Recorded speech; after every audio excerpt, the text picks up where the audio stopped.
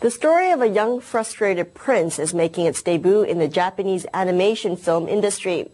The film Earthsea explores issues of a father-son rivalry and opens with a shocking scene. Let's take a sneak preview.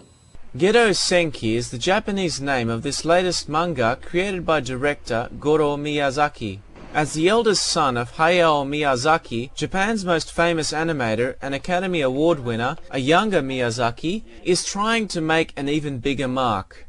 He has been fascinated by animation since childhood, but worked as a landscape planner to avoid being compared to his father. But the family genes kicked in, and he made his own manga.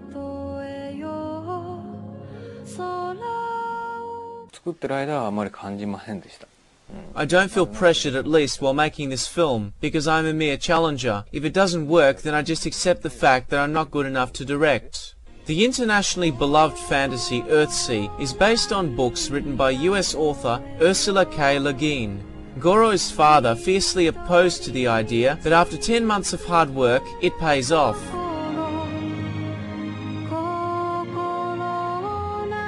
By directing this movie, I've also become a sort of his rival, even though mine and his products may far differ in quality. The movie is based on a troubled prince called Arren. He meets up with Ged, a wizard searching for blight, causing all magic to fail. Critics and viewers were divided, but his father praises the film's honest approach. Earthsea will show in 50 countries, including the US.